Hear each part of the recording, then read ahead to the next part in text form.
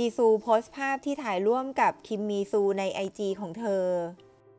โดยคิมมีซูคือนักแสดงที่เสียชีวิตไปเมื่อวันที่ 5 มกราคม 2565 โดยผลงานล่าสุดของคิมมีซูก็คือซีรีส์เรื่อง Snowdrop ที่จีซูเป็นนางเอกนั่นเองจีซูโพสต์ภาพพร้อมข้อความว่าห้อง 207 ที่รักของฉัน โดยซีรีส์เรื่อง Snowdrop คิมมีซู รับบทเป็นยอจองมิน เพื่อนร่วมห้องของอึนยองโร นางเอกของเรื่อง ซึ่งก็คือจีซูนั่นเองค่ะ โดยภาพที่จีซูโพสต์ใน IG ก็จะเป็นภาพคู่ของเธอกับคิมมีซู และนักแสดงในกองถ่าย